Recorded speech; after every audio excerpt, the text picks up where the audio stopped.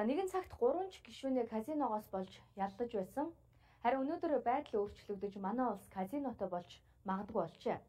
Азаа үздэг энэ боцоог дагаж асар их мөнгө дэлхийд даяар эргэлддэг. Зарим нь хожиж, зарим нь алддаг гэдэг муу нэртэйч зөв замаар хөгжүүлж чадвал эдийн засгийн өндөр үр өгөөчтэй үүнийг дагсан аялал жуулчлал хөгжсөн жишээ олон бий. Манай улсад энэ төрлийн тоглоом мөрийн хориотой учраас нууц байдалд олон жил оршсон. Тийм учраас хууль зүйн яам энэ асуудлыг хуульчлахаар төсөл боловсруулж олон нийтэд танилцууллаа. За казиногийн тухай хуулийг засгийн газрыг төлөөлж хууль зүйн яам боловсруулж дуусжээ. За Монголд байгуулах казинод монгол хүн орохгүй. За хоёрдугаарт казино байгуулахад хөрөнгө оруулагч нь 300 сая ам доллар буюу 900 орчим тэрбум төгрөгийн хөрөнгө оруулалт хийх юм а. За казиногийн зөвшөөрлийг 30 жилийн хугацаатай олгоно. За мөн 10 жилээр сунгана. За тусгай зөвшөөрлийн хугацаа дууд казино эрхлэгч хувьцааныхаа 50%-ийг засгийн газар шилжүүлэхээр тусгасгажээ. За энэ мэтэр манай улс казиног бий болгож чадвал эдийн засагт ихээхэн ач холбогдолтойг хууль санаачлагч хэлж байна. Тэгээ казино гэдэг бол аялал жуулчлалыг нэг татах их том одоо хөшүүр байх боловч байгаа. За зөвшөөрөл лиценз авсан объектоо барьсан аж ахуйн нэгж лиценз эзэмшигч маань өдөрт орсон орлогынхоо 30-аас 35%-ыг өдөр тутамдаа улсын төсөвт төвлөрүүлж өгч байна.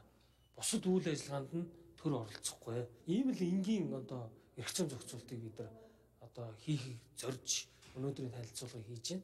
10 жил нэг удаа За эхний ээлжинд казиног бусад улсын жишгийн дагуу чөлөөт бүсүүдэд байгуулахар болжээ. За манасд одоогоор Халтан булаг, Замын үд, Хөшгийн өндий гэсэн чөлөөт бүсүүд байгаа.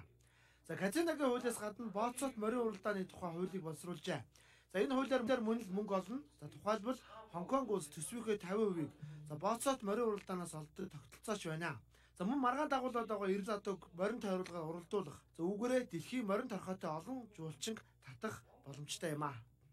Тэгэхээр дэлхийн нийт шийдсэн асуудал бол ерөөсөө сонгодог одоо морин тойруулгын уралдааны одоо улс орон бүр өөртөө нутгшуулсан байдаг. Энэ нэг талтаа иргэдийнхээ чөлөө цагийг зөв болсон өрөөлөх. Хоёрдугаарт одоо эдийн засагт маш том түлхэц өгөх, дээр нь татврын орлого бүрдэх, дээр нь одоо хүн төрлөختний одоо бий болгосон морины томоохон соёлыг Монголд нутгшуулах юм ач холбогдол За манай улс аялал жуулчлалыг дэмжих бодлого баримталж байгаа. За гэхдээ одоогийн байгалийн аялал жуулчлалаар удирдлын чанартай цөөн жуулчлал ирдэг. За харин казино болон боцот морин уралдааны орчин нөхцөлийг бий болгож чадвал за жилдээ олон сая жуулчин авах боломж болголцоо бүрдэх юм аа.